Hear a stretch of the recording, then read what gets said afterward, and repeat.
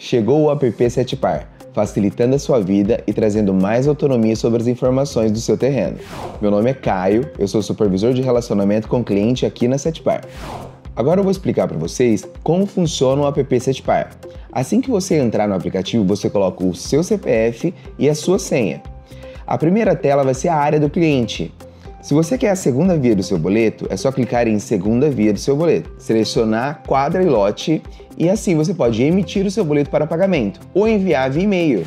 Ainda sobre a segunda via do teu boleto, você recebendo o boleto na sua casa, você pode clicar em evitar fraude, continuar e ler o código de barras desse boleto. Assim te dá mais segurança para o uso do app. Ainda na área do cliente, você consegue antecipar as suas parcelas clique em antecipação de parcelas, selecione a quadro lote que você quer antecipar, selecione parcela por parcela. Verificou qual é o valor e a quantidade de parcelas que você quer antecipar? É só gerar o boleto e efetuar o pagamento. É fácil e simples. Mas, se você está com alguma parcela em atraso, é só clicar em renegociação de parcelas, selecionar a parcela em que você quer renegociar e um atendente vai entrar em contato com você para facilitar a forma de pagamento. É muito fácil. Na área do cliente, você também consegue acessar documentos importantes.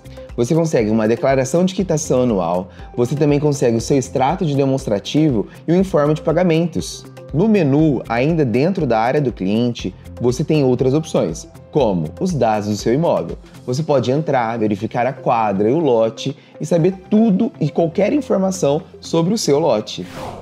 Agora, se você precisa alterar algum dado pessoal, também é possível no app. Você clica em dados pessoais, vai aparecer todos os dados em que você tem atualmente. E se você ainda tiver mais alguma dúvida sobre o seu lote, como quitação ou outra informação, você pode ligar no 4009 7007. Estamos sempre à disposição para atender você.